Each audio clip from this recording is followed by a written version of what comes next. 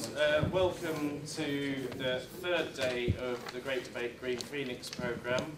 I'm Caspar Hewett, Director of the Great Debate, and I'd like to welcome you all here. I'd also like to say um, big thanks to Newcastle University and RCE North East for providing the venue for today.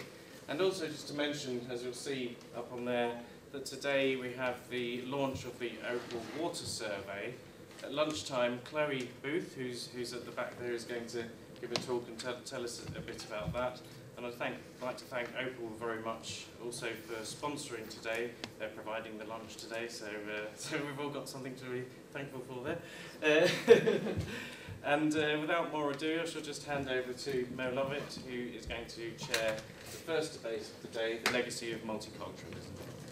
Good morning, everybody, and uh, welcome to any first-time Great Debaters, and welcome back to everybody who's been here over the last couple of days. Um, as Caspar said, we're going to be talking about the legacy of multiculturalism this morning, on this fine sunny Sunday morning. Um, the concept itself gained prominence in Britain and indeed across many Western countries during the 1970s, very much as a kind of way of countering some of the racist ideas that had immediately preceded it. It, do, it did and it does um, by promoting and celebrating cultural differences. So among some of the questions I think we'll be covering this morning um, is whether multiculturalism in promoting the equitable status of distinct ethnic cultures um, it has created a form of relativism that kind of prevents us from finding any universal values and whether or not indeed that's a good or a bad thing. Um, uh, we're also going to talk about what that legacy is, whether multiculturalism has united people or whether it has divided them, whether it hasn't had that impact at all. Um, and with us to debate these matters, we've got uh, four diverse, intellectually diverse uh, speakers. Uh, on my uh, far left is Amir Saeed, who is a senior lecturer at the Centre for Research in Media and Cultural Studies at the University of Sunderland. And is program leader for the BA in Media, Culture and Communication. As well as teaching, Amir's research interests include race and ethnic studies, media power, and 9-11 and the media. Uh, on my immediate left, we have Diane Mavroleon, yes, who is a polymath who is currently working as a filmmaker and as a radio producer presenter for Resonance FM, which is 104.4 is that right? Yes. She's also a contributor for Confluence magazine, South Asian Perspectives, and is currently doing research for a feature documentary on the impact of globalization on the hereditary musicians of the Thar Desert in western Rajasthan.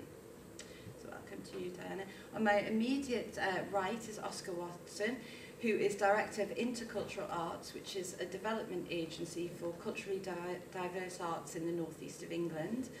Um, uh, Intercultural Arts is a charity that was set up to help people from other cultures who are looking to work in the arts in the northeast of England. But the agency also supports large organisations in the region who want to understand the needs of minority communities. And then finally, last but not least, on my um, far right is Susie Dean, who is a writer and a journalist who regularly contributes to a number of publications, including Free Society, Spiked and Open Democracy. As well as having written widely on subjects such as freedom, democracy and multiculturalism, Susie is currently researching the relationship between freedom and alcohol. So welcome to our distinct panel. And um, Amir, I think we'll start with you. Yeah. I, I, I probably won't need the mic. I've got a very loud voice. Is that okay? Yeah. Is it okay if I stand up? It's just that I feel dead nervous sitting down. yeah, all right. Okay, cheers. Just that uh, the reason I, I like standing up, right, is just that I've got a bit of a stammer. And if I find if I, if I sit down, I stammer more, whilst I can wave my hands and stuff like this, and I don't seem to stammer for some strange reason, right? Like, Caspar's just ran out, okay, which is just as well, okay, because I, I was going to hit him, because Casper said to me I wasn't meant to do a talk, right? Uh, and uh, I've just, in the last, I, I went to the toilet there, and I just prepared a talk as soon as I, as soon as I, as the best I could from a chapter that I've got coming out in a book on multiculturalism. So what I'm going to try to do is quickly what you call go through the sort of debates about multiculturalism and then try to give a personal perspective on it, if that's okay, right? Right now, the people, right now, multiculturalism, is it's, it's a very contested kind of concept, and it's also a concept which people love to criticise, right? Okay, whether on the left or on the right. Now, on the left, people want to criticise multiculturalism because what they basically say, right, is if you look at all the kind of research on it, right, what they basically say is that what multiculturalism basically does, it, it, it, tries to what you call highlight differences. That's what it basically does. It tries to highlight differences as a way of saying, oh, uh, uh, that's what that's what these communities want. So, for example, way back in the 70s, you had groups like, you know, the sort of uh, Black Workers Association. By the 80s and 90s, you had the Indian Workers Association, the Pakistani Workers Association, the West Indies Association, all competing for funds. So basically what happened, the, the one, one of the reasons why the sort of left don't like it is what's really happening is that if you want to, if you want to be if you want to think of old kind of Marxist uh, uh, uh, concepts, the working class is getting divided. That's what's basically happening. So people are basically saying, people are fighting for pots of money, basically, right, okay. And the real issue of, i.e., inequality in society doesn't really get challenged. So that's why the left, even now, are more and more kind of uh, suspicious of this concept of multicultur multiculturalism. The right, on the other hand, they obviously, you call, the, the sort of right-wing commentators and uh, uh, political commentators, etc., they seem to think that the multiculturalism is a threat. It, it, it, it, it kind of erodes so-called core values, whether these values be religion, nationality, family, etc. That's what they seem to think. Okay, now, uh, both of these, you know, both of, so both of them, in one way or another, are actually challenging this concept of multiculturalism, right? Okay, but I mean, I think personally, I think that kind of both kind of uh, uh, arguments a bit strange, right? Okay, because what do we mean by concepts like culture or national identity? What do we? I mean, these are very, very ambiguous terms. So, I mean, for example, uh, if, if I walk out right now in Newcastle and ask somebody there, you tell me what English means.